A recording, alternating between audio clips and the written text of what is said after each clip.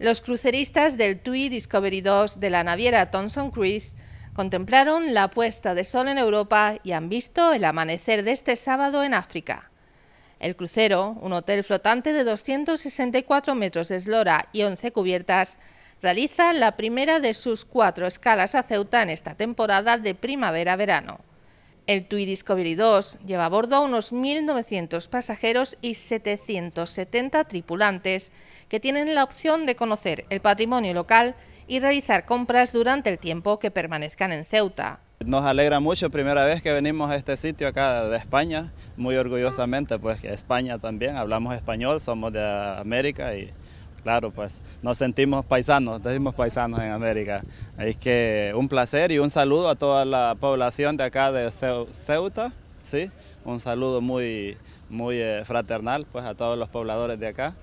Servicios Turísticos colabora en la recepción de los turistas y ha puesto a disposición de los visitantes autobuses para facilitar su traslado al centro de la ciudad. La guía sería esta, que está bastante bien porque vienen todos los monumentos, todos los sitios a visitar, todo en inglés. Y al mismo tiempo damos el plano de situación donde aquí les explicamos dónde está el barco, por ejemplo está parado para que se sitúen.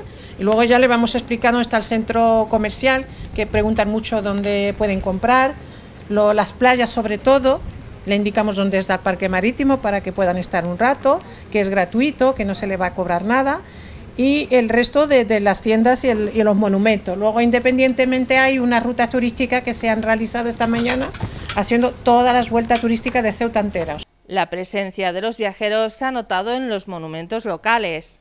We're on a tour. Uh, we're driving around in a coach. I've never been here before. It's very nice, very pretty en los habituales recorridos turísticos por los rincones con más encanto de Ceuta. It's very nice. Very I nice love place. the beach. We're going to have a carry on touring around and explore the churches around.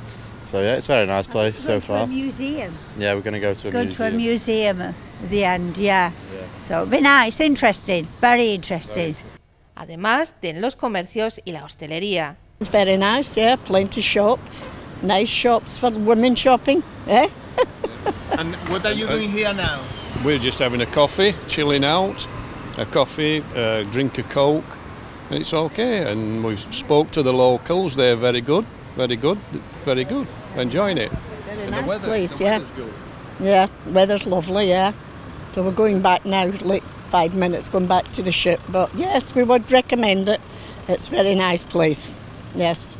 El buque ha llegado procedente del puerto de Almería y partirá este sábado a las 7 de la tarde con destino Málaga.